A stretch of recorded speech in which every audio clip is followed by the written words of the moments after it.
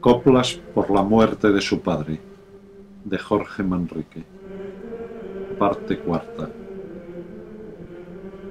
No dejó grandes tesoros ni alcanzó muchas riquezas ni vajillas, mas hizo guerra a los moros ganando sus fortalezas y sus villas. Y en las lides que venció, muchos moros y caballos se perdieron. Y en este oficio ganó las rentas y los vasallos que le dieron. Pues por su honra y estado en otros tiempos pasados, ¿cómo se hubo?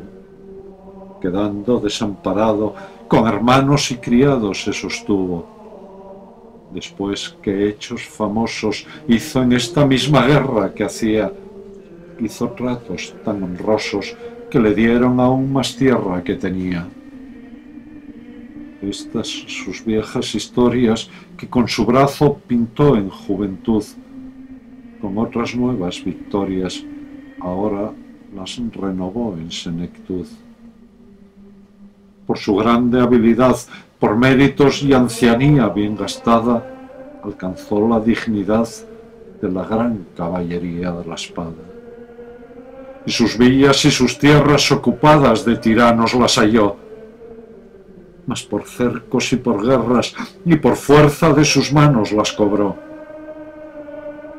Pues nuestro rey natural, si de las obras que obró fue servido, dígalo el de Portugal y en Castilla quien siguió su partido. Después de puesta la vida tantas veces por su ley al tablero, después de también servida la corona de su rey verdadero, después de tanta hazaña a que no puede bastar cuenta cierta, en la su villa de Ocaña vino la muerte a llamar a su puerta diciendo, Buen caballero, dejad el mundo engañoso y su halago, vuestro corazón de acero muestre su esfuerzo famoso en este trago y pues de vida y salud hicisteis tan poca cuenta por la fama, esfuércese la virtud para sufrir esta afrenta que os llama. No se os haga tan amarga la batalla temerosa que esperáis, pues otra vida más larga de la fama gloriosa acá dejáis.